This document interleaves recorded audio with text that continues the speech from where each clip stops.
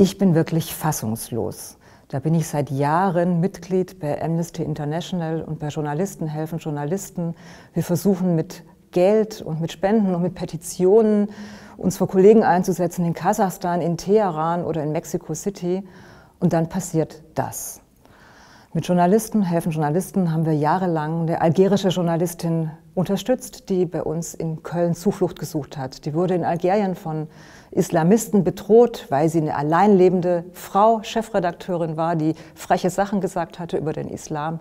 Die haben wir jahrelang mit Künstlersozialkasse und Aufträgen für die Deutsche Welle und Geld in Köln durchgefüttert. Und immer war die Ansage, Jamila, bei uns in Europa bist du sicher.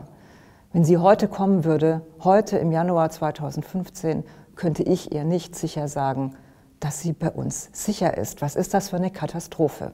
Ausgerechnet in Paris, wo wir einfach mal so hinfahren, weil Europa ja offene Grenzen hat, weil wir angeblich dieselben Werte haben, die Grenzen aufgemacht haben, die Währungsunterschiede abgeschafft haben. In Paris, im Marais, wo wir schon mal in drei Stunden mit dem Thalys hinfahren, um Kaffee zu trinken, wird eine ganze Zeitungsredaktion einfach ausgelöscht, einfach gemetzelt dafür, dass sie einfach ihren Job, unser aller Job gemacht haben, Journalismus. Es ist wirklich unfassbar. Und das macht mich wütend, das macht mich saumäßig wütend, denn gestern, als ich die Bilder gesehen habe, habe ich gedacht, boah, da wird auf einen Schlag alles niedergewalzt, was wir jahrelang als fortschrittliche Journalisten aufgebaut haben.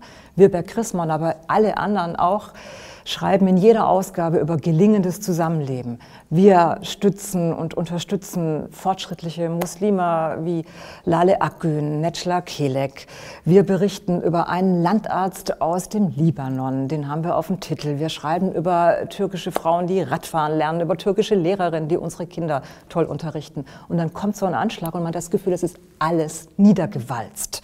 Sollen wir uns davon jetzt entmutigen lassen, weil die Rechten, die Konservativen sagen werden, na seht ihr mal, ist ja toll mit euren fortschrittlichen Muslimen, das ist das wahre Gesicht des Islam. Das darf auf gar keinen Fall passieren. Ich glaube, dass die Angst, die wir wahrscheinlich alle haben, die müssen wir überwinden, denn Anschläge können überall passieren, in Zeitungsredaktionen, auf Bahnhöfen, im ICE, auf Kirchentagen. Natürlich werden wir uns weiter frei bewegen in diesem Land. Die Angst müssen wir überwinden und die Wut, die wir alle haben, die muss sich in Entschlossenheit verwandeln. Wir müssen weiter diese Geschichten erzählen. Wir müssen weiter diese kleinen Geschichten erzählen, wie gut es ist, dass wir eine Gesellschaft sind, wo wir mit Muslimen und dank Muslimen gut zusammenleben. Das erfordert tatsächlich im Moment Mut und den wünsche ich uns allen, denn da fühle ich mich auch als Chefredakteurin verpflichtet. In dieser Redaktion soll jede und jeder schreiben dürfen, was ist, ohne Angst zu haben. Das ist übrigens ausnahmsweise kein Zitat von Martin Luther. Schreiben, was ist, das hat Rosa Luxemburg gesagt. Und das ist unsere Aufgabe vor Paris und nach Paris noch sehr viel mehr.